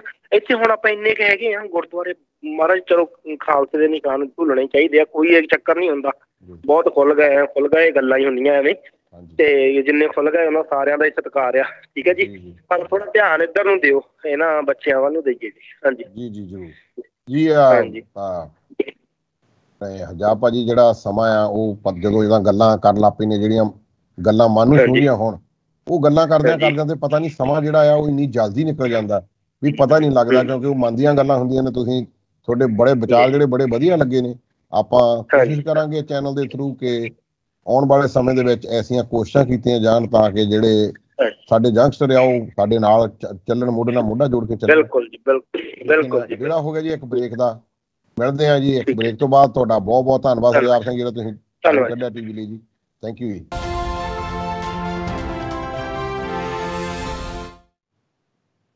ਜੀ ਬ੍ਰੇਕ ਤੋਂ ਬਾਅਦ ਤੁਹਾਡਾ ਫਿਰ ਨਿੱਘਾ ਸਵਾਗਤ ਹੈ। ਦੇਖ ਰਹੇ ਹੋ ਜਸ ਟੀਵੀ ਤੇ ਆਪਣਾ ਕਮਿਊਨਿਟੀ ਦੀ ਗੱਲ ਜਿਹੜੀ ਵਾਪਸ ਉਸ ਗੱਲ ਤੇ ਆਉਣੇ ਆ ਕਿ ਆਪਾਂ ਗੱਲ ਕਰ ਰਹੇ ਸੀ ਹੁਣੇ ਹਰਜਾਪ ਸਿੰਘ ਜੀ ਜਿਨ੍ਹਾਂ ਦੇ ਮਾਸਟਰ ਜੀ ਦਾ ਦੇਹਾਂਤ। ਇਹ ਉਸੇ ਗੋਲੀकांड ਅਪ੍ਰੈਲ 15 ਨੂੰ ਵਿੱਚ ਹੋਇਆ। ਤੇ ਉਹਨਾਂ ਦਾ ਜਿਹੜਾ ਸੰਸਕਾਰ ਹੈ ਆ ਸੈਚਰਡੇ ਨੂੰ ਰੱਖਿਆ ਹੋਇਆ ਹੈ, ਉਹਨਾਂ ਦਾ ਪੂਰਾ ਐਡਰੈਸ ਵਗੈਰਾ ਉਹ ਆਪਾਂ ਕੱਲ ਜ਼ਰੂਰ ਸ਼ੇਅਰ ਕਰਾਂਗੇ ਕਿ ਅੱਜ ਉਹਨਾਂ ਦੇ, ਅੱਜ ਉਹਨਾਂ ਦਾ ਫਾਈਨਲ ਹੋਣਾ ਹੈ ਕਿ ਸੈਚਰਡੇ ਦਾ ਟਾਈਮ ਵਗੈਰਾ ਸਾਰਾ ਫਾਈਨਲ ਕਰਕੇ ਉਹ ਆਪਾਂ ਕੱਲ ਜ਼ਰੂਰ ਫਾਈਨਲ ਕਰ ਦਾਂਗੇ ਕਿ ਕਿੱਥੇ ਹੈ, ਕਿਸ ਟਾਈਮ ਹੈ, ਕਿੰਨਾ ਫਾਈਨਲ ਹੋ ਜਾਏਗਾ। ਅੱਜ ਉਹਨਾਂ ਦੇ ਕੋਲ ਇਨਫੋਰਮੇਸ਼ਨ ਨਹੀਂ ਸੀਗੀ, ਲੇਕਿਨ ਕੱਲ ਤੱਕ ਉਹਨਾਂ ਨੂੰ ਰਿਕੁਐਸਟ ਕੀਤੀ ਹੈ ਕਿ ਕੱਲ ਤੱਕ ਇਨਫੋਰਮੇਸ਼ਨ ਸਾਡੇ ਤੱਕ ਜ਼ਰੂਰ ਪਹੁੰਚਦੀ ਕਰਨ। ਕੱਲ ਆਪਾਂ ਲਾਈਵ ਸ਼ੋਅ ਫਿਰ ਕਰਾਂਗੇ ਟਿਊਜ਼ਡੇ 11 ਤੋਂ 12 ਜੇ ਤੁਸੀਂ ਸਾਡੇ ਸ਼ੋਅ ਦਾ ਹਿੱਸਾ ਬਣਨਾ ਚਾਹੁੰਦੇ ਹੋ ਜਾਂ ਕੋਈ ਸਲਾਹ ਦੇਣੀ ਚਾਹੁੰਦੇ ਹੋ ਜਾਂ ਕੁਝ ਇਨਫੋਰਮੇਸ਼ਨ ਪੁੱਛਣਾ ਚਾਹੁੰਦੇ ਹੋ ਤੇ ਜ਼ਰੂਰ ਹੇਠ ਲਿਖੇ ਨੰਬਰਾਂ ਤੇ ਕਾਲ ਕਰ ਸਕਦੇ ਹੋ, ਤੁਸੀਂ ਗੈਸਟ ਵੀ ਬਣ ਸਕਦੇ ਹੋ ਜਾਂ ਆਪਣੇ ਮਨ ਦਾ ਕੋਈ ਵੀ ਬੁਲਬੁਲਾ ਹੈ, ਉਹ ਜ਼ਰੂਰ ਸਾਨੂੰ ਦੱਸ ਸਕਦੇ ਹੋ ਕਿ ਜੀ ਆਹ ਗੱਲ ਮੇਰੇ ਮਨ ਵਿੱਚ ਹੈ। ਜਾਂ ਸਾਨੂੰ ਦੱਸੋ ਕਿ ਐਸੇ ਜਸਟ ਟੀਵੀ ਤੁਹਾਡਾ ਆਪਣਾ ਟੀਵੀ ਹੈ ਚੈਨਲ ਆਪਣਾ ਚੈਨਲ ਹੈ ਕਿ ਸਾਨੂੰ ਕਮਿਊਨਿਟੀ ਲਈ ਹੋਰ ਕੀ ਕਰਨਾ ਚਾਹੀਦਾ, ਕਿਸ ਤਰ੍ਹਾਂ ਦੇ ਅਸੀਂ ਹੋਰ ਸ਼ੋਅ ਲੈ ਕੇ ਆਈਏ ਜਾਂ ਕਿਸ ਤਰ੍ਹਾਂ ਦੀ ਚੀਜ਼ ਦੀ ਲੋੜ ਹੈ ਸਾਨੂੰ ਦਿਖਾਉਣ ਦੀ ਕਮਿਊਨਿਟੀ ਲਈ। ਜਿਸ ਤਰ੍ਹਾਂ ਜੰਗਸਟਰ ਦੀ ਗੱਲ ਹੋਈ, ਉਹ ਤਾਂ ਆਪਾਂ ਜ਼ਰੂਰ ਕਰਾਂਗੇ। ਉਹਦੇ ਨਾਲ ਨਾਲ ਜੇ ਗੁਰੂ ਘਰ ਦੇ ਕੋਈ ਸੁਧਾਰ ਕਰਨਾ ਹੈ ਜਾਂ ਗੁਰੂ ਘਰ ਦੇ ਵਿੱਚ ਕੋਈ ਪ੍ਰੋਬਲਮ ਆ, ਜਾਂ ਗੁਰੂ ਘਰ ਨੂੰ ਆਪਾਂ ਨਾਲ ਜੋੜਨਾ, ਜਾਂ ਉੱਥੇ ਕੀ ਨਵਾਂ ਕਰੀਏ, ਜਿਹੜੇ ਆਪਣੇ ਜੰਗਸਟਰ ਆ, ਉਹ ਗੁਰੂ- ਗੁਰੂ ਘਰਾਂ ਦੇ ਨਾਲ ਜ਼ਰੂਰ ਜੋੜਨ। ਕਿਉਂਕਿ ਦੇਖਣ ਵਿੱਚ ਅਕਸਰ ਕਾਫੀ ਆਇਆ ਕਿ ਜਿਹੜੇ ਜੰਗਸਟਰ ਨੇ, ਉਹ ਅਕਸਰ ਗੁਰਦੁਆਰੇ ਜਾ ਕੇ ਜ਼ਿਆਦਾ ਨਹੀਂ ਖੁਸ਼। ਜਾਂਦੇ ਨੇ ਜਦੋਂ ਉਹਨਾਂ ਦੇ ਪੇਰੈਂਟ ਉਹਨਾਂ ਨੂੰ ਫੋਰਸ ਕਰਦੇ ਨੇ। ਜਾਂ ਉਹਨਾਂ ਨੂੰ ਕਿਹਾ ਜਾਂਦਾ ਕਿ ਜ਼ਰੂਰੀ ਜਾਣਾ ਪੈਣਾ। ਫਿਰ ਉਹ ਜਾ ਕੇ ਉੱਥੇ ਇੰਟਰਸਟ ਨਹੀਂ ਲੈਂਦੇ। ਉਹ ਇੰਟਰਸਟ ਕਿਉਂ ਨਹੀਂ ਲੈਂਦੇ? ਉਹ ਸਾਨੂੰ ਸੋਚਣਾ ਪਏਗਾ ਕਿ ਇਹਨਾਂ ਦਾ ਇੰਟਰਸਟ ਕੇਸ ਕਰਕੇ ਗੁਰੂ ਘਰ ਵਿੱਚ ਨਹੀਂ ਹੈਗਾ। ਆਪਾਂ ਕੁਝ ਐਸਾ ਜਿਹਾ ਕਰਨਾ ਹੈ ਕਿ ਜਿਹੜਾ ਸਾਡੇ ਯੰਗਸਟਰ ਨੇ, ਜਿਹੜੇ ਸਪੈਸ਼ਲੀ ਇੱਥੋਂ ਦੇ ਅਮਰੀਕਨ ਬੋਰਨ ਨੇ ਜਾਂ ਕੈਨੇਡੀਅਨ ਬੋਰਨ ਨੇ, ਉਹਨਾਂ ਨੂੰ ਕੀ ਕੀ, ਕਿਹੜਾ ਢੰਗ ਦੇ ਨਾਲ ਉਹਨਾਂ ਨੂੰ ਨਾਲ ਜੋੜਿਆ ਜਾਵੇ ਤਾਂ ਕਿ ਉਹ ਸਿੱਖੀ ਜੀਵਨ ਦੇ ਨਾਲ ਜ਼ਰੂਰ ਜੋੜਨ ਤੇ ਉਹਨਾਂ ਨੂੰ ਪਤਾ ਲੱਗੇ ਕਿ ਸਾਡਾ ਜਿਹੜਾ ਸਿੱਖੀ ਕਲਚਰ ਹੈ ਉਹ ਕਿੰਨਾ ਰਿਚ ਹੈ। ਜਾਂ ਸਿੱਖੀ ਕਲਚਰ ਦੇ ਵਿੱਚ ਕੀ ਹੈ, ਜਾਂ ਇਹਦੀ ਹਿਸਟਰੀ ਕੀ ਹੈ, ਉਹ ਸਾਰਾ ਕੁਝ ਸਾਨੂੰ ਉਹਨਾਂ ਨੂੰ ਨਾਲ ਜੋੜ ਕੇ ਦੱਸਣਾ ਪਵੇਗਾ। ਜੇ ਅਸੀਂ ਆਪਣੀ ਜਿਹੜੀ ਦਸਤਾਰ ਆ, ਜਾਂ ਆਪਣੀ ਕੌਮ ਆ, ਜਾਂ ਆਪਣੀ ਬੋਲੀ ਆ, ਉਹਨੂੰ ਅਸੀਂ ਬਚਾ ਕੇ ਰੱਖਣਾ ਤੇ ਸਾਨੂੰ ਆਪਣੇ ਨਿਆਣਿਆਂ ਨੂੰ, ਸਾਡੇ ਬੱਚਿਆਂ ਨੂੰ ਜ਼ਰੂਰ ਇਸ ਪਾਸੇ ਥੋੜਾ ਥੋੜਾ ਲੈ ਕੇ ਆਉਣਾ ਪਵੇਗਾ। ਸਾਨੂੰ ਆਪਣੀਆਂ ਜਿਹੜੀਆਂ ਪੰਜਾਬੀ ਖੇਡਾਂ ਜਾਂ ਸਾਡੇ ਪੰਜਾਬੀ ਖਾਣੇ ਜਾਂ ਜੋ ਵੀ ਸਾਡਾ ਪੰਜਾਬ ਦਾ ਪਿਛੋਕੜ ਹੈ ਸਾਨੂੰ, ਉਹ ਉਹਨਾਂ ਨੂੰ ਦੱਸਣਾ ਪਵੇਗਾ। ਜੇ ਦੱਸਾਂਗੇ, ਉਹਨਾਂ ਨੂੰ ਨਾਲ ਜੋੜਾਂਗੇ, ਤਾਂ ਫੇਰ ਹੀ ਗੱਲ ਬਣਨੀ ਆ। ਨਹੀਂ ਤਾਂ ਉਸ ਤਰ੍ਹਾਂ ਅਸੀਂ ਇੱਕ ਦਿਨ ਇਹ ਸਾਡੀ ਜਿਹੜੀ ਪੂਰੀ ਹਸਤੀ ਆ, ਉਹ ਖਤਮ ਹੋ ਜਾਏਗੀ। ਲੇਕਿਨ ਦਾਸ ਇਹ ਗੱਲ ਨਹੀਂ ਮੰਨਦਾ ਕਿ ਖਤਮ ਹੋ ਜਾਏਗੀ। ਪਰ ਜਿਹੜੇ ਕਈ ਕਥਾਵਾਚਕ ਜਾਂ ਕਈ ਕੀਰਤਨੀਏ ਜਾਂ ਹੋਰ ਕਈ ਗੁਰੂ ਘਰਾਂ ਦੇ ਪ੍ਰਧਾਨ ਵੀ ਇਹ ਗੱਲ ਮੰਨਦੇ ਨੇ ਕਿ ਖਤਮ ਹੋ ਜਾਏਗੀ, ਖਤਮ ਨਹੀਂ ਹੋ ਸਕਦੀ। ਕਿਉਂਕਿ ਜੇ ਤੁਸੀਂ ਪਿੱਛੇ ਨੂੰ ਝਾਤ ਮਾਰੋਗੇ, ਜਦੋਂ ਸਿਰਾਂ ਦੇ ਮੁੱਲ ਪੈਂਦੇ ਸੀ, ਉਦੋਂ ਵੀ ਖਤਮ ਨਹੀਂ ਹੋਏ, ਜਿੱਥੇ ਇੱਕ ਐਸੀ ਕੌਮ ਆਈ ਜਿਨ੍ਹਾਂ ਨੇ ਪੂਰਾ ਜ਼ੋਰ ਲਾ ਲਿਆ ਕਿ ਇਹ ਕੌਮ ਹੀ ਖਤਮ ਕਰ ਦੇਣੀ, ਉਦੋਂ ਵੀ ਕੌਮ ਖਤਮ ਨਹੀਂ ਹੋਈ। ਹੁਣ ਤਾਂ ਕੋਈ ਸਵਾਲ ਹੀ ਨਹੀਂ ਪੈਦਾ ਹੁੰਦਾ ਕਿ ਕੌਮ ਖਤਮ ਹੋ ਜੂ। ਇੰਨਾ ਕੁ ਕੌਨਫੀਡੈਂਸ ਹੈ ਦਾਸ ਦੇ ਵਿੱਚ ਕਿ ਮੈਂ ਕਹਿ ਸਕਦਾ ਕਿ ਕੋਈ ਹੁਣ ਇਸ ਕੌਮ ਨੂੰ ਖਤਮ ਕਦੀ ਕਰ ਹੀ ਨਹੀਂ ਸਕਦਾ। ਜੇ ਕਰੂਗੇ ਤਾਂ ਜਿਹੜੇ ਸਾਡੇ ਕੌਮ ਦੇ ਗਦਾਰ ਨੇ, ਉਹੀ ਕਰਨਗੇ। ਲੇਕਿਨ ਕੋਈ ਦੂਸਰਾ ਬੰਦਾ ਨਹੀਂ ਸਾਨੂੰ ਖਤਮ ਕਰ ਸਕਦਾ ਕਿਉਂਕਿ ਅਸੀਂ ਹਰ ਕੰਟਰੀ ਦੇ ਵਿੱਚ ਹਰ ਮੀਡੀਆ ਦੇ ਉੱਤੇ, ਉਹ ਹਰ ਅਫੀਸ਼ੀਅਲ ਜਿਹੜੇ ਇੱਥੇ ਤੱਕ, ਮੇਅਰ ਤੱਕ ਵੀ ਤੋਂ ਵੀ ਗਾਂ ਲੰਘ ਚੁੱਕੇ ਆ, ਜਿਹੜੇ ਕੈਨੇਡਾ ਦੇ ਵਿੱਚ, ਇੱਥੇ ਵੀ ਯੂਐਸ 'ਚ ਵੀ ਔਰ ਇੰਗਲੈਂਡ 'ਚ ਵੀ, ਜਿਹੜੀ ਵੀ ਕੰਟਰੀ ਦੇ ਵਿੱਚ ਜਾਂਦੇ ਆ, ਉਹ ਹਰ ਕੋਈ ਜਿਹੜਾ ਫੀਲਡ ਸੀ, ਉਹ ਹੁਣ ਸਾਡੇ ਉਸ ਫੀਲਡ ਦੇ ਵਿੱਚ ਸਿੱਖ ਭਾਈਚਾਰੇ ਦੇ ਬੰਦੇ ਬੈਠੇ ਨੇ ਸਪੈਸ਼ਲੀ ਜਿਹੜੇ ਯੰਗਸਟਰ ਨੇ, ਕੋਈ ਡਾਕਟਰ ਹੈ, ਕੋਈ ਅਟਾਰਨੀ ਹੈ ਡਿਸਟ੍ਰਿਕਟ ਅਟਾਰਨੀ ਤੱਕ ਬਣੇ ਹੋਏ ਨੇ, ਫਿਰ ਇਸ ਕੌਮ ਨੂੰ ਖਤਮ ਕਰਨਾ ਤੇ ਕੋਈ ਸਵਾਲ ਹੀ ਨਹੀਂ ਪੈਦਾ ਹੁੰਦਾ ਕਿ ਸਾਨੂੰ ਕੋਈ ਖਤਮ ਕਰ ਦੂ। ਲੇਕਿਨ ਸਾਨੂੰ ਤਰਾਸ਼ਣਾ ਸਿੱਖ ਕੌਮ ਨੂੰ, ਤਰਾਸ਼ ਕੇ, ਉਹਨੂੰ ਮੋਹਰੇ ਲੈ ਕੇ ਆਉਣਾ ਕਿ ਸਾਡੀ ਸਚਾਈ ਕੀ ਹੈ। ਕਿਉਂਕਿ ਕਈ ਜਿਹੜੇ ਸੁਣਨ ਵਿੱਚ ਵੀ ਆਇਆ ਔਰ ਦਾਸ ਨੇ ਉਹਨਾਂ ਨੂੰ ਵਿਟਨੈਸ ਵੀ ਕੀਤਾ ਉੱਥੇ ਕਿ ਉਹ ਗਲਤ ਗੱਲਾਂ ਹੀ ਸਾਡੀ ਕੌਮ ਬਾਰੇ ਕਹੀ ਜਾਂਦੇ ਨੇ। ਕਿ ਜਿਹੜੀਆਂ ਗੱਲਾਂ ਸੱਚ ਹੀ ਨਹੀਂ ਹੈਗੀਆਂ, ਉਹਨਾਂ ਨੂੰ ਵੀ ਸੱਚ ਬਣਾ ਕੇ ਪੇਸ਼ ਕੀਤਾ ਜਾ ਰਿਹਾ। ਇਹ ਲੋੜ ਹੈ ਸਾਨੂੰ ਇੱਕ ਸੈਮੀਨਾਰ ਦੀ, ਜਾਂ ਇੱਕ ਜਿਹਨੂੰ ਅਸੀਂ ਕੰਪੀਟੀਸ਼ਨ ਵੀ ਹਰਜਾਬ ਸਾਹਿਬ ਨੇ ਕਿਹਾ, ਜਾਂ ਉਹਨੂੰ ਕਵਾਂਗੇ ਆਪਾਂ ਨੂੰ ਇੱਕ ਸਿੱਖਿਆ ਦਾ ਕੇਂਦਰ ਬਣਾਇਆ ਜਾਵੇ ਜਾਂ ਗੁਰੂ ਘਰਾਂ ਦੇ ਵਿੱਚ ਕੋਈ ਐਸੀ, ਐਸੇ ਸਮਾਗਮ ਕਰਾਏ ਜਾਣ ਜਿਨ੍ਹਾਂ ਦੇ ਨਾਲ ਸਾਡੇ ਯੰਗਸਟਰ ਜਿਹੜੇ ਆ, ਉਹ ਗੁਰੂ ਘਰਾਂ ਨਾਲ ਜੁੜਨ ਤੇ ਉਹਨਾਂ ਨੂੰ ਸਮਝ ਆਵੇ। ਉਹਨਾਂ ਨੂੰ ਸਮਝਾਉਣ ਲਈ ਸਾਨੂੰ ਜਿਹੜੇ ਆ ਵਧੀਆ ਇੰਗਲਿਸ਼ ਦੇ ਟੀਚਰ ਨੇ ਜਿਹੜੇ, ਵਧੀਆ ਜਿਨ੍ਹਾਂ ਨੂੰ ਸਾਡੀ ਕੌਮ ਬਾਰੇ ਜ਼ਿਆਦਾ ਪਤਾ ਜਾਂ ਜਿਹੜੇ ਵਧੀਆ ਸੋਚ ਰੱਖਦੇ ਨੇ ਜਾਂ ਜਿਹੜੇ, ਜਿਨ੍ਹਾਂ ਨੂੰ ਮੈਂ ਕਹਿੰਦਾ ਕਿ ਉਹ ਨਿਊਟਰਲ ਬੰਦੇ ਨੇ, ਉਹ ਇਹ ਨਹੀਂ ਸੋਚ ਰੱਖਦੇ ਕਿ ਕੱਲੀ ਸਿੱਖ ਕੌਮ ਹੀ ਵਧੀਆ, ਸਾਰੀਆਂ ਕੌਮਾਂ ਵਧੀਆ ਨੇ। ਲੇਕਿਨ ਜਿਹੜੀ ਸਿੱਖ ਕੌਮ ਦੀ ਖਾਸੀਅਤ ਹੈ, ਉਹਨਾਂ ਦੀ ਇਹ ਖਾਸੀਅਤ ਹੈ ਕਿ ਉਹ ਹਰ ਕੌਮ ਨੂੰ ਗੱਲ ਬੱਕਰੀ ਵਿੱਚ ਲੈਂਦੇ ਨੇ। ਉਹ ਸਿੱਖ ਮਤਲਬ ਗੁਰੂ ਘਰ ਜਾਓ, ਉੱਥੇ ਕੋਈ ਨਹੀਂ ਪੁੱਛਦਾ ਕਿ ਤੁਹਾਡਾ ਜਾਤ ਕੀ ਹੈ, ਤੁਹਾਡੀ ਪਾਤ ਕੀ ਹੈ, ਤੁਸੀਂ ਕਿਸ ਧਰਮ ਨੂੰ ਮੰਨਦੇ ਹੋ, ਤੁਸੀਂ ਕਿੱਦਾਂ ਦੇ ਇਨਸਾਨ ਹੋ। ਗੁਰੂ ਗੁਰਦੁਆਰੇ ਹਰ ਇੱਕ ਬੰਦੇ ਨੂੰ ਓਪਨ ਆਰਮ ਦੇ ਵਿੱਚ ਜੱਫੀ ਪਾ ਕੇ ਲੈ ਜਾਂਦਾ ਕਿ ਤੂੰ ਲੰਗਰ ਛਕ। ਲੇਕਿਨ ਕੋਈ ਸਾਡੇ ਬੰਦੇ ਹੈਗੇ ਨੇ ਜਿਹੜੇ ਇਹ ਮਤਭੇਦ ਰੱਖਦੇ ਨੇ ਕਿ ਜੀ ਇਹ ਇਹ ਬਾਲ ਕੱਟੇ ਹੋਏ ਨੇ, ਇਹਨੇ ਆਹ ਕੀਤਾ ਹੋਇਆ ਜਾਂ ਦਾੜੀ ਕੱਟੀ ਹੋਈ ਹੈ ਜੀ। ਇਹਨਾਂ ਗੱਲਾਂ ਤੋਂ ਉੱਪਰ ਉੱਠਣਾ ਪਵੇਗਾ। ਸਮਾਂ ਆ ਗਿਆ ਕਿ ਸਾਨੂੰ ਇਹਨਾਂ ਗੱਲਾਂ ਤੋਂ ਉੱਪਰ ਆਉਣਾ ਪਊਗਾ। ਜੇ ਅਸੀਂ ਕਿਸੇ ਨੂੰ ਨਾਲ ਜੋੜਨਾ ਤੇ ਉਹਨੂੰ ਪਿਆਰ ਨਾਲ ਹੀ ਜੋੜਿਆ ਜਾਊਗਾ, ਨਾ ਕਿ ਜ਼ੋਰ ਜ਼ਬਰਦਸਤੀ ਨਹੀਂ ਕੋਈ ਬੰਦਾ ਜੁੜੂਗਾ। ਜੇ ਤੁਸੀਂ ਉਹਨੂੰ ਪਿਆਰ ਕਰੋਗੇ, ਤਾਂ ਪਿਆਰ ਕਰਨ ਦੇ ਨਾਲ ਜਾਨਵਰ ਵੀ ਤੁਹਾਡੀ ਵੇਟ ਕਰਦਾ ਤੇ ਨਫ਼ਰਤ ਦੇ ਨਾਲ ਕੁਝ ਵੀ ਹਾਸਲ ਨਹੀਂ ਹੁੰਦਾ। ਜਿੰਨੀ ਨਫ਼ਰਤ ਵਧਾਓਗੇ, ਉਹਦੇ ਨਾਲ ਤੁਹਾਡਾ ਆਪ ਦਾ ਨੁਕਸਾਨ ਹੋਣਾ ਜਿੰਨੀ ਨਫ਼ਰਤ ਤੁਸੀਂ ਲੋਕਾਂ ਨੂੰ ਕਰੋਗੇ ਉਨੀ ਤੁਹਾਡੀ ਜਿਹੜਾ ਮਨ ਆ, ਤੁਹਾਡਾ ਆਪਦਾ ਭਟਕੂਗਾ। ਮਨ ਭਟਕੂਗਾ, ਤੁਸੀਂ ਦੂਜਿਆਂ ਬਾਰੇ ਦੇਖ ਕੇ ਕਿ ਦੂਜੇ ਨੇ ਵੱਡਾ ਘਰ ਲੈ ਲਿਆ, ਦੂਜੇ ਨੇ ਵੱਡੀ ਗੱਡੀ ਲੈ ਲਈ, ਦੂਜੇ ਨੇ ਆਹ ਕਰ ਲਿਆ, ਉਹ ਗੱਲਾਂ ਤੋਂ ਉੱਪਰ ਉੱਠਣਾ ਪਊਗਾ। ਹੁਣ ਸਮਾਂ ਆ ਗਿਆ ਕਿ ਜੇ ਤੁਸੀਂ ਆਪਣੇ ਮਨ ਨੂੰ ਸ਼ਾਂਤ ਰੱਖਣਾ ਚਾਹੁੰਦੇ ਹੋ, ਨੰਬਰ 1 ਤਾਂ ਗੁਰਦੁਆਰੇ ਨਾਲ ਜੁੜੋ, ਜੇ ਮੰਦਰ ਜੁੜਿਆ ਤਾਂ ਮੰਦਿਰ ਨਾਲ ਜੁੜੋ, ਜੇ ਮਸਜਿਦ ਨਾਲ ਜੁੜਿਆ ਤਾਂ ਮਸਜਿਦ ਨਾਲ, ਜਿੱਥੇ ਵੀ ਤੁਸੀਂ ਜੁੜਨਾ ਚਾਹੁੰਦੇ ਹੋ, ਉੱਥੇ ਰੱਬ ਦਾ ਨਾਮ ਜ਼ਰੂਰ ਲਓ, ਰੱਬ ਦਾ ਨਾਮ ਲਓਗੇ, ਤੁਹਾਨੂੰ ਸ਼ਾਂਤੀ ਮਿਲੂਗੀ। ਜਦੋਂ ਸ਼ਾਂਤੀ ਮਿਲੂਗੀ ਤੁਸੀਂ ਤੁਹਾਡਾ ਮਨ ਸ਼ਾਂਤ ਹੋਊਗਾ, ਤੁਸੀਂ ਸੱਚੀ ਤੇ ਸੁੱਚੀ ਤੇ ਵਧੀਆ ਸੋਚ ਰੱਖੋਗੇ। ਜੇ ਇਹ ਤਿੰਨ ਚੀਜ਼ਾਂ ਗੱਲੀਆਂ ਹੋ ਜਾਣ, ਸੱਚੀ ਹੋਵੇ, ਸੁੱਚੀ ਹੋਵੇ ਤੇ ਵਧੀਆ ਹੋਵੇ, ਫਿਰ ਤੁਸੀਂ ਆਪਣੇ ਘਰ ਤੋਂ ਸ਼ੁਰੂ ਕਰੋ, ਆਪਣੇ ਆਂਢ ਗੁਆਂਢ ਤੱਕ ਜਾਓ, ਉਸ ਤੋਂ ਬਾਅਦ ਆਪਣੇ ਸੱਜਣਾ ਮਿੱਤਰਾਂ ਤੱਕ ਜਾਓ, ਫਿਰ ਪਰਿਵਾਰਾਂ ਤੱਕ ਜਾਓ, ਫਿਰ ਉਹ ਗੱਲ ਨੂੰ ਲੈ ਕੇ ਗੁਰੂ ਗੁਰੂ ਘਰ ਵੀ ਜਾਓ ਔਰ ਫਿਰ ਉੱਥੇ ਜਾ ਕੇ ਵਿਚਾਰ ਕਰੋ ਕਿ ਆਹ ਵਿਚਾਰ ਜਿਹੜੀ ਆ, ਇਹ ਠੀਕ ਹੈ ਜਾਂ ਇਹ ਸਾਨੂੰ ਕਰਨੀ ਚਾਹੀਦੀ ਹੈ ਜਾਂ ਸਾਨੂੰ ਨਹੀਂ ਕਰਨੀ ਚਾਹੀਦੀ। ਵਿਚਾਰ ਜਿਹੜੀ ਆ, ਇੱਕ ਹਥਿਆਰ ਹੈ। ਜੇ ਵਿਚਾਰ ਕਰਾਂਗੇ ਤਾਂ ਜ਼ਰੂਰ ਕੁਛ ਨਾ ਕੁਛ ਨਿਕਲੂਗਾ। ਵਿਚਾਰ ਅਸੀਂ ਪੰਥਕ ਤੌਰ ਤੇ ਵੀ ਕਰ ਸਕਦੇ ਹਾਂ, ਵਿਚਾਰ ਧਾਰਮਿਕ ਤੌਰ ਤੇ ਵੀ ਕਰ ਸਕਦੇ ਹਾਂ, ਵਿਚਾਰ ਜਿਹੜੀ ਆ ਉਹ ਪਰਿਵਾਰਕ ਤੌਰ ਤੇ ਵੀ ਕੀਤੀ ਜਾ ਸਕਦੀ ਹੈ। ਪਰਿਵਾਰਕ ਤੌਰ ਤੇ ਵਿਚਾਰ ਜਿਹੜੀ ਉਹ ਬਹੁਤ ਜ਼ਰੂਰੀ ਆ। ਪਿਛਲੇ ਕਾਫੀ ਸ਼ੋਆਂ ਦੇ ਵਿੱਚ ਵੀ ਆਪਾਂ ਇਹ ਜ਼ਰੂਰ ਗੱਲ ਕੀਤੀ ਆ ਕਿ ਜਿਹੜੀ ਵਿਚਾਰ ਆ ਪਿੰਡਾਂ ਦੀ ਵੀ ਲਾ ਲਓ, ਉਹ ਇੱਕ ਪਿੰਡ ਤੋਂ ਸ਼ੁਰੂ ਹੁੰਦੀ ਆ। ਜੇ ਘਰ ਦੇ ਵਿੱਚ ਵਿਚਾਰ ਵਧੀਆ ਹੋਊਗੀ, ਉਹ ਆਂਢ ਗੁਆਂਢ 'ਚ ਵਿਚਾਰ ਵਧੀਆ ਕਰੂਗਾ। ਵਧੀਆ ਵਿਚਾਰ ਹੋਊਗੀ, ਆਪਾਂ ਵਧੀਆ ਪੰਚ ਸਰਪੰਚ ਚੁਣ ਸਕਦੇ ਹਾਂ। ਉਹ ਤੋਂ ਉੱਪਰ ਵਧੀਆ ਮੰਤਰੀ ਚੁਣ ਸਕਦੇ ਹਾਂ। ਜੇ ਅਸੀਂ ਇਸ ਵਧੀਆ ਵਿਚਾਰ ਨਹੀਂ ਰੱਖਾਂਗੇ, ਤਾਂ ਅਸੀਂ ਵਧੀਆ ਜਿਹੜੀ ਆ, ਸੋਚ ਨਹੀਂ ਰੱਖਦੇ। ਜੇ ਵਧੀਆ ਸੋਚ ਨਹੀਂ ਰੱਖਦੇ, ਦਿਮਾਗ ਜਿਹੜਾ ਤੁਹਾਡਾ ਬ੍ਰੇਨ ਆ, ਉਹ ਫਰੈਸ਼ ਨਹੀਂ ਹੋਊਗਾ। ਫਰੈਸ਼ ਨਹੀਂ ਹੋਊਗਾ, ਤੁਹਾਡੇ ਦਿਮਾਗ ਦੇ ਵਿੱਚ ਜਿਹੜਾ ਕੂੜ ਭਰਿਆ ਹੋਇਆ, ਉਹ ਗਲਤ ਫੈਸਲਾ ਲਊਗਾ। ਇਹ ਦੱਸਦਾ ਪਰਸਨਲ ਮੰਨਣਾ ਆ ਕਿ ਜੇ ਤੁਹਾਡਾ ਮਾਈਂਡ ਫਰੈਸ਼ ਆ, ਤੁਹਾਡੀ ਵਿਚਾਰ ਚੰਗੀ ਆ, ਤੇ ਤੁਸੀਂ ਆਲੇ ਦੁਆਲੇ ਨੂੰ, ਆਪਣੇ ਆਪ ਨੂੰ, ਆਪਣੇ ਬੱਚਿਆਂ ਨੂੰ, ਹਰ ਇੱਕ ਜਗ੍ਹਾ ਨੂੰ ਸੁਰੱਖਿਅਤ ਕਰ ਸਕਦੇ ਹੋ। ਲੇਕਿਨ ਉਹਦੇ ਲਈ ਤੁਹਾਨੂੰ ਵਧੀਆ ਵਿਚਾਰ ਰੱਖਣੀ ਪਵੇਗੀ, ਸੋਚ ਥੋੜੀ ਵਾਈਡ ਓਪਨ ਰੱਖਣੀ ਪਵੇਗੀ। ਇਸ ਗੱਲ ਵਿੱਚ ਨਾ ਫਸੇ ਰਹੋ ਕਿ ਅਸੀਂ ਲੰਗਰ ਦੇ ਵਿੱਚ ਜਾਂ ਕੱਲੇ ਇਸ ਗੱਲ ਤੇ ਅੜੇ ਰਹਿਣਾ ਕਿ ਅਸੀਂ ਉਸੇ ਬੰਦਾ ਸੇਵਾ ਕਰੂਗਾ ਜੀ ਜਿਹੜਾ ਪੂਰਾ ਗੁਰਸਿੱਖੀ ਸਰੂਪ ਵਿੱਚ ਹੋਵੇ। ਇਸ ਤਰ੍ਹਾਂ ਨਹੀਂ ਹੁੰਦਾ। ਜੇ ਕਿਸੇ ਬੰਦੇ ਨੂੰ ਅਸੀਂ ਗੁਰਸਿੱਖੀ ਸਰੂਪ ਵਿੱਚ ਲੈਣਾ ਰਾਤੋਂ ਰਾਤ ਨਹੀਂ ਆਏਗਾ, ਉਹਨੂੰ ਪਿਆਰ ਦੇ ਨਾਲ ਗੁਰੂ ਘਰ ਲੈ ਕੇ ਆਓ, ਉਹਨੂੰ ਸਮਝਾਓ ਕਿ ਗੁਰੂ ਘਰ ਦੀ ਮਹੱਤਤਾ ਕੀ ਹੈ ਔਰ ਗੁਰਸਿੱਖ ਬਣਨਾ ਕਿਉਂ ਜ਼ਰੂਰੀ ਹੈ। ਜਿੱਦਣ ਉਹਦੇ ਸਮਝ ਵਿੱਚ ਆ- ਸਮਝ ਵਿੱਚ ਆ ਗਈ, ਉਹ ਮੈਂ ਮੰਨਦਾ ਕਿ ਜ਼ਰੂਰ ਇਸ ਪਾਸੇ ਚੱਲੇਗਾ, ਉਹਨੂੰ ਪਤਾ ਲੱਗੇਗਾ ਕਿ ਸੱਚੀ ਤੇ ਸੁੱਚੀ ਜਿਹੜੀ ਬਾਣੀ ਜੋ ਸਾਨੂੰ ਸਿਖਾਉਂਦੀ ਹੈ, ਉਹਦੇ ਉੱਤੇ ਹੀ ਪਹਿਰਾ ਦੇ ਕੇ ਆਪਣੀ ਕਮਿਊਨਿਟੀ ਲਈ ਕੀ ਕਰਨਾ ਹੈ ਔਰ ਕਮਿਊਨਿਟੀ ਦੇ ਵਿੱਚ ਚੰਗੇ ਜਿਹੜੇ ਬੰਦੇ ਨੇ, ਉਹਨਾਂ ਨੂੰ ਜ਼ਰੂਰ ਅੱਗੇ ਲੈ ਕੇ ਆਉਣਾ, ਚਾਹੇ ਉਹ ਸਾਡੇ ਤੋਂ ਛੋਟੀ ਉਮਰ ਦੇ ਬੱਚੇ ਹੋਣ, ਇਹ ਜ਼ਰੂਰੀ ਨਹੀਂ ਕਿ ਛੋਟੀ ਉਮਰ ਵਿੱਚ ਬੱਚੇ ਦੇ ਵਿਚਾਰ ਜਿਹੜੇ ਆ, ਉਹ ਉੱਚੇ ਨਹੀਂ ਹੋ ਸਕਦੇ। ਕਿ ਇਹ ਤਾਂ ਸਾਡੇ ਪਿਤਾ ਗੁਰੂ ਗੋਬਿੰਦ ਸਿੰਘ ਜੀ ਕਹਿ ਗਏ ਕਿ ਉਹਨਾਂ ਨੇ ਆਪਣੀ ਉਹਨਾਂ ਦੀ ਜੀਵਨੀ ਤੇ ਤੁਸੀਂ ਨਿਗਾਹ ਮਾਰੋ ਕਿ ਉਹਨਾਂ ਨੇ ਆਪਣੇ ਜੀਵਨ ਦੇ ਵਿੱਚ ਕੀ ਕੀ ਨਹੀਂ ਕੀਤਾ। ਤੇ ਉਹ ਇਸ ਤਰ੍ਹਾਂ ਦੇ ਵਿਚਾਰ ਜੇ ਤੁਸੀਂ ਰੱਖੋਗੇ ਇਹ ਨਾ ਦੇਖੋ ਕਿ ਬੱਚੇ ਦੀ ਉਮਰ ਕੀ ਹੈ। ਤੇ ਬੱਚੇ ਦੀ ਉਮਰ ਤੋਂ ਉੱਪਰ ਉੱਠ ਕੇ ਆਪਾਂ ਸੋਚਣਾ ਹੈ। ਇਸ ਤਰ੍ਹਾਂ ਹੀ ਆਪਾਂ ਕਾਲਰ ਆਪਣੇ ਨਾਲ ਜੁੜੇ ਨੂੰ ਜ਼ਰੂਰ ਲਵਾਂਗੇ ਜੀ। ਜੀ ਤੁਹਾਡਾ ਨਿੱਘਾ ਸਵਾਗਤ ਹੈ ਜਸ ਟੀਵੀ ਤੇ ਤੁਸੀਂ ਆਨ 에ਅਰ ਹੋ ਜੀ। ਸਤਿ ਸ਼੍ਰੀ ਅਕਾਲ ਜੀ। ਸਤਿ ਸ਼੍ਰੀ ਅਕਾਲ ਜੀ ਰਾਜ ਕੁਮਾਰ ਬੋਲ ਰਹੇ। ਜੀ ਰਾਜਕੁਮਾਰ ਜੀ ਤੁਹਾਡਾ ਨਿੱਘਾ ਸਵਾਗਤ ਹੈ ਜੀ। ਸਾਨੂੰ ਤੇ ਗੁਰੂ ਨਾਨਕ ਦੇਵ ਜੀ ਨੇ ਕਹਿ ਦਿੱਤੀ ਹੈ ਜੀ। ਜੀ ਜੀ।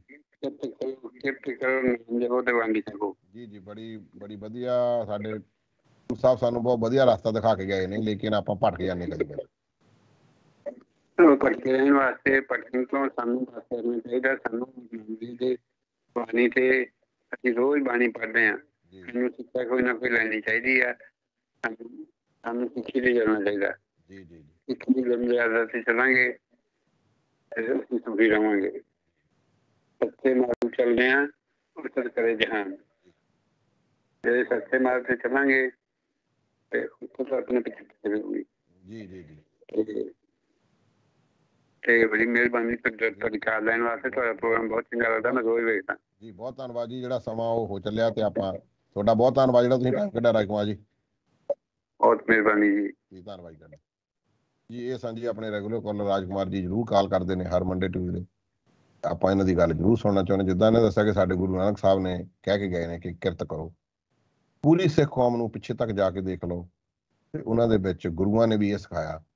ਤੇ ਜਿਸ ਤਰ੍ਹਾਂ ਮੈਂ ਦੱਸਿਆ ਕਿ ਗੁਰੂ ਗੋਬਿੰਦ ਸਿੰਘ ਜੀ ਦੀ ਜੀਵਨੀ ਨੂੰ ਧਿਆਨ ਮਾਰੋ ਤੇ ਉਹਨਾਂ ਨੇ ਬਹੁਤ ਛੋਟੀ ਉਮਰ ਵਿੱਚ ਆਪਣੇ ਪਿਤਾ ਜੀ ਨੂੰ ਪ੍ਰੇਰਿਆ ਕਿ ਤੁਹਾਡੇ ਤੋਂ ਵੱਡਾ ਕੌਣ ਹੋ ਸਕਦਾ ਕੁਰਬਾਨੀ ਦੇਣ ਲਈ। ਔਰ ਉਹ ਕੁਰਬਾਨੀ ਕਦੋਂ ਦਿੱਤੀ ਗਈ, ਜਿਨ੍ਹਾਂ ਨੂੰ ਹਿੰਦੀ ਚਾਦਰ ਕਿਹਾ ਕਿਹਾ ਜਾਂਦਾ, ਉਹ ਕਿਉਂ ਦਿੱਤੀ ਗਈ? ਉਹ ਸਾਰੇ ਜਾਣਦੇ ਨੇ ਦਾਸ ਇਸ, ਜਿਹੜੀ ਹਿਸਟਰੀ ਤੋਂ ਥੋੜਾ ਜਿਹਾ ਹਾਲੇ ਪਿੱਛੇ ਹੈ ਪੜਦਾ ਪਿਆ, ਜਦੋਂ ਪੂਰੀ ਹੋ ਗਈ ਉਦੋਂ ਜ਼ਰੂਰ ਇਸ ਬਾਰੇ ਵਿਚਾਰ ਵੀ ਕਰਾਂਗੇ ਔਰ ਜਿਹੜੇ ਕੁਝ ਬੰਦੇ ਜਿਹੜੇ ਆਪਣੇ ਬਹੁਤ ਵਧੀਆ ਵਿਚਾਰ ਰੱਖਦੇ ਨੇ, ਇਹਨਾਂ ਚੀਜ਼ਾਂ ਨੂੰ ਉਹ ਜ਼ਿਆਦਾ ਸੂਝਵਾਨ ਨੇ, ਉਹਨਾਂ ਨੂੰ ਵੀ ਲੈ ਕੇ ਆਵਾਂਗੇ, ਵਿਚਾਰਾ ਕਰਾਂਗੇ, ਲੇਕਿਨ ਸਮਾਂ ਜਿਹੜਾ ਹੈ, ਉਹ ਕਿਸੇ ਦਾ ਨਹੀਂ ਹੈਗਾ, ਉਹ ਟਿਕ ਟਿਕ ਕਰਕੇ ਚੱਲੀ ਜਾਣਾ ਉਹਨੇ, ਸਮਾਂ ਕੋਈ ਬੰਨ ਨਹੀਂ ਸਕਦਾ, ਇਹਨੂੰ ਕੋਈ ਵੱਡੇ ਵੱਡੇ ਬਦਬਾਨ ਹੋ ਗਏ, ਵੱਡੇ ਵੱਡੇ ਪਗੰਬਰ ਚਲੇ ਗਏ, ਇਥੋਂ ਸਮੇਂ ਨੂੰ ਕੋਈ ਬੰਨ ਨਹੀਂ ਸਕਿਆ, ਸਮਾਂ ਆਪਣੀ ਰਫ਼ਤਾਰ ਦੇ ਨਾਲ ਚੱਲਦਾ ਰਹਿੰਦਾ, ਇਸੇ ਤਰ੍ਹਾਂ ਹੀ ਜਿਹੜਾ ਅੱਜ ਦਾ ਸ਼ੋਅ ਆਪਾਂ ਇੱਥੇ ਹੀ ਸਮਾਪਤ ਕਰਾਂਗੇ।